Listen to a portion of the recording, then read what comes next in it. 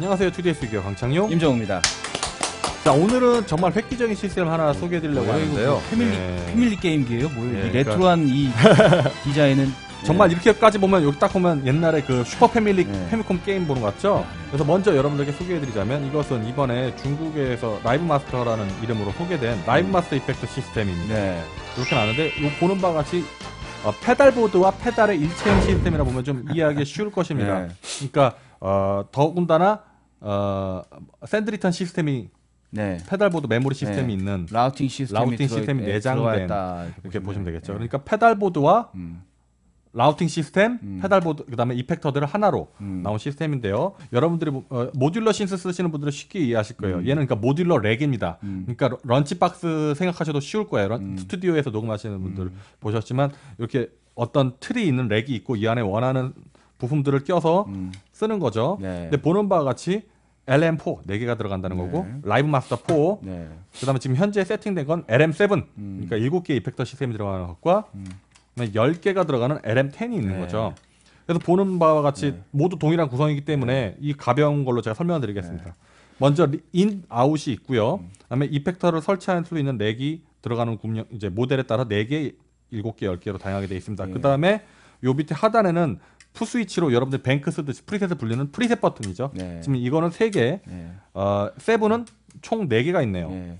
그다음에 10은 하나, 둘, 셋, 넷, 다섯, 여섯 개가 있는데 어, seven과 10 같은 경우에 또 bank preset을 바꾸는 게 있어서 어, 이 seven 같은 경우는 여덟 개. 음. 그러니까 각 preset 버튼당 두 개씩 되는 거죠. 네. 그다음에 10은 12개가 되네요. 하나, 둘, 셋, 넷, 다, 여, 그러네요. 예, 여섯 개니까 가격 12개가 차이 되는 좀 건데 나겠네요. 가격 차이가 좀 네, 나겠죠. 뭐 여러분들 아다시피 뭐 delay, 뭐 overdrive, 예, 뭐 comp 이렇게 걸고 싶다. 그럼 예. 1번 bank 저장, 뭐 이런 식입니다. 옛날에 그래서 여러분들이 지금 여- 대부분의 여러분들은 지금 이거 시청하시는 분들은 PC방 세대이기 때문에 이걸 모르겠지만 옛날에 저 때는 게임기를 사면 음. 어, 용산에 가서 아저씨가 학생 뭐 사러 왔으면 아저 게임기 사, 게임 팩 사러 왔으면 아 이거 해봐 이러면 뭐 이렇게 사서 음.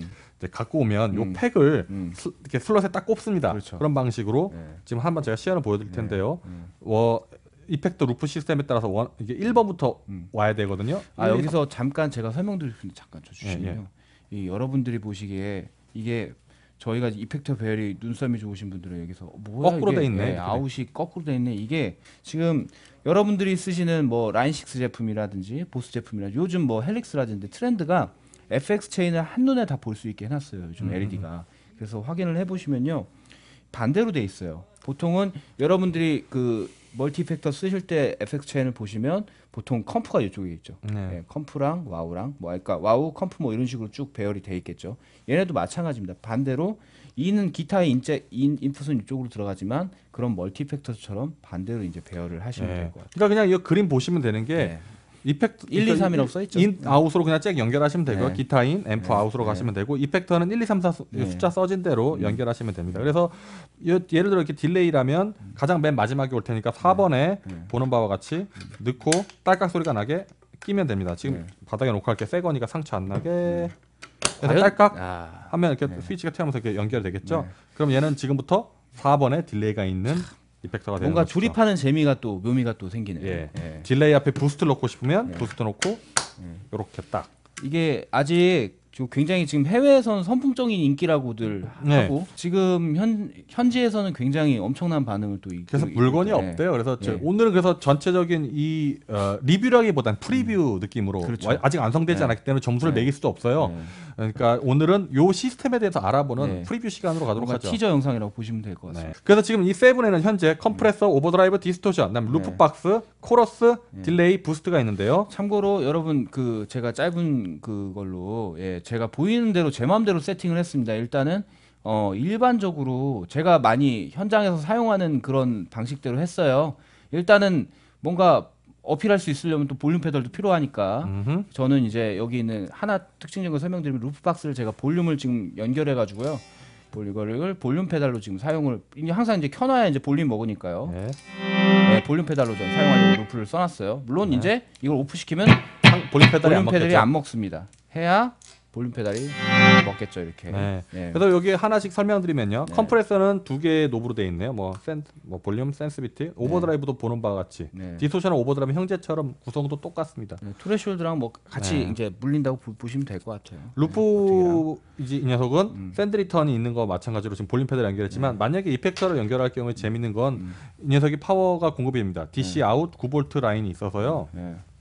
예. 이렇게 되겠죠. effector를 예를 들어서 다른 네. effector를 쓸 경우에 별도의 파워를 네. 연결하지 마시고 예. 간편하게 네. 여기서 900 음. 아 9V에 200mAh까지 음. 전달하니까 이렇게 해서 effector를 연결하면 되겠죠. 여기 있는 드라이브 페달이 나는 내, 내 취향 아니야. 난 곧 죽어도 소스 오디오에 LA Lady를 쓰겠다. 그럼 이때 루프 박스를 이렇게 해가지고. 그렇죠. 네. 어떤 이렇게 해서 네. 쓸수 있는 방식이 되어 네. 있고요. 네. 오늘은 그래서 이 시스템에 대해서 알아보는 시간이기 때문에 오늘은 저장 방식과 이 컨트롤에 대해서만 한번 알아보도록 하겠습니다. 사실 그것만 해도 충분할 것 같아요. 네. 뭐 그게 그렇게 어렵지 않아서. 네. 예. 그럼 오늘 한번 네. 이제 저장을 해볼 예, 시스템에 대해서 알아볼 텐데요. 지금 보는 바와 같이 오른쪽 맨 오른쪽 스위치에 LM7부터 지원하는 네. 이제 두 개의 뱅크가 있는데 음. 어, 보통은 LM4는 없어요. 네. 그래서 얘는 딱 세 개, 네 개의 메모리, 아, 세 개의 푸 스위치로 그냥 메모리 하는 게 끝인데 음. 얘는 아까 여덟 개가 된다고 한게한 음. 번 눌러서 파란색이 될 경우에 네. 지금 A도 파란색이 됐죠. 음. 여기서 하나씩 저장하는 거. 네. 그 다음에 빨간색이 됐을 때 또 하나 저장하니까 네. 총 여덟 개가 되는데 오늘은 빨간색 쪽에다 한번 세이브를 해보도록 하겠습니다. 네. 세이브하는 방식은 간단합니다. 어, LED가 잘 안 보여. delay 켜 있었군요. 예. 네. 자기가 원하는 만큼 effector를 키는 거죠. 네. 켜볼까요? 네. 뭐뭐 쓰실 거예요? comp? comp부터 한번 들려드릴까요? 아니 들려드리는 게 아니고 세이브 할 거니까 아, 세이브. 일반적으로 많이. clean해서 여러분들이 쓰시는 comp랑 코러스랑 delay를 한번 섞어보죠. comp랑 코러스 delay를 모두 네. 킨 상태에서 네. 세이브를 해보도록 하겠습니다. 지금 A뱅크는 클린 채널. 네, clean 채널로 쓰는 거죠. 네. 그러면 깜빡이는 네. 속도가 점점 빨라집니다. 끝났어요. 이제 여기는 이제 정우 clean이 되는 거죠. 여러분들 multi effector 쓰실 때. 네, 네, 그래서. 껐을 때는 네. 그냥 볼륨 페달도 안 먹고 그냥 네. 가겠죠. 한번 네. 쳐보세요. 그래서 드는 생각이 멋지 멋지게 견출지로 여기다가 정우 clean 이렇게 아, 붙여주시면 예, 그 됐고요. 편집해 주세요. 네. 넘어.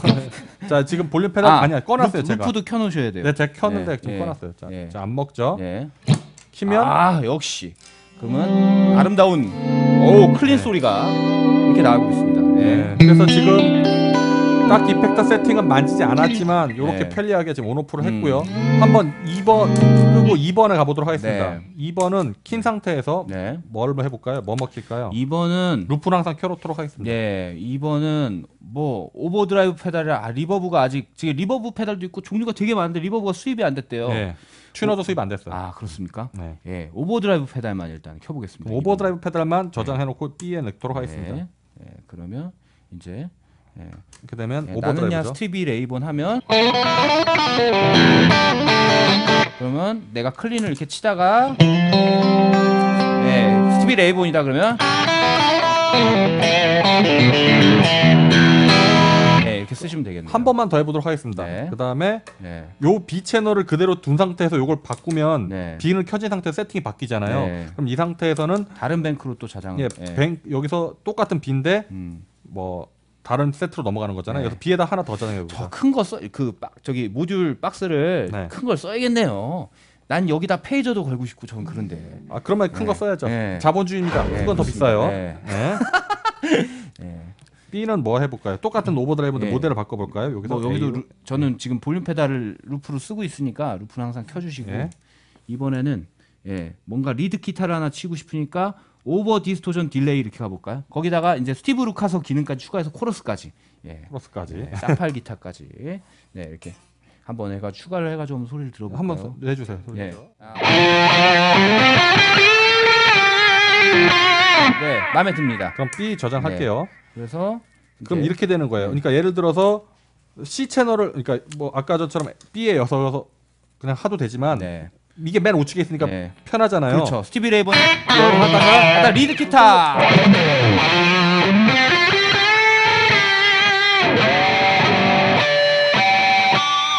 솔로 다 하고 backing으로 dist를 걸을 걸 그랬다. B에다가. 아, B에다 dist 네. 그러면은 요거 바꿔보도록 하죠. 네. distortion. 네. 저의 오늘 일일 technician이십니다. 네, 해보세요. 그렇습니다. 양, 네, 괜찮아요? 이게 backing으로 이제 하다 backing으로 쓰다가 이제 기타.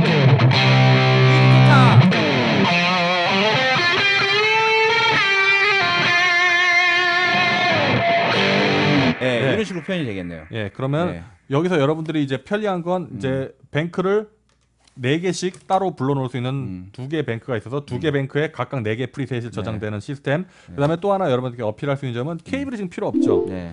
모듈 시스템으로 간단하게 연결할 수 있고 불에- 그 덕분에 부피가 줄어들었고 음. 제작비가 줄어든다는 거. 그러니까 어, 제가 살짝 엿들었는데 아직 가격 책정은 안 됐다는데 아마 이런 rack 하나당 네. 음. 이런 모듈 하나당 최하 최하 한 4만 원 정도에서 스타트한다고 해요. 좀 비싼 건 좀더 비쌀 테고요. 음, 그래도 굉장히 여러분들이 pedalboard 제작하시고 뭐 선재 사고 하고 뭐 제작하시고 하는 것보다는 훨씬 저렴하게 그렇죠. 구입할 수 그다음에. 얘를 삼으로 해서 하나 절약되는 점은 파워를 안 사도 돼. 예. 파워 안 사도 되고 footswitch 안 사도 돼.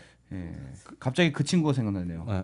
작년에 프리버드에서 굉장히 절찬리에 판매됐었던 음. 베일톤과 음. 엄청난 경쟁을 하지 않을까. 그렇죠. 어떤 어뭐 뭐, 이제 이제 예.